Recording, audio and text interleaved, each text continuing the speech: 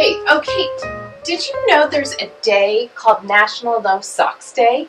What? I think you just made that up. No, honestly, I didn't. And like, who in their right minds wouldn't wear socks? Look at all these great socks we have. Well, if you're wearing a low cut shoe, you might not wear a sock because you don't want it to show. Really? I do. Okay, well, you're probably not going to wear socks with flip flops. Um, I do. And maybe I fall down and now my ankle's in a cast. I can't wear socks. Well, to be honest, that wouldn't surprise me. Ouch. But you know what would look really cute in a cast is our pineapple sock, right? Right? True. Yeah. Okay, fine. Um, maybe I'm gonna go run on the beach. Probably won't wear socks then. Maybe not. But seriously, Kate, whose side are you on here? The sock people or the non sock people? Make up your mind.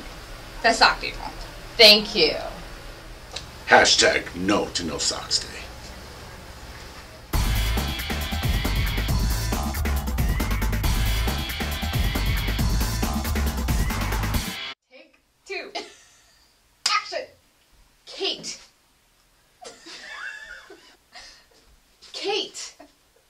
Are you yelling? Yes, I'm supposed to alarm you. Just. Kate. Jen? Oh, Jan. Come on, Jen. Is it good? I'm just framing it.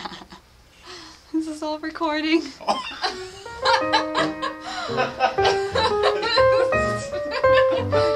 More for our bloopers.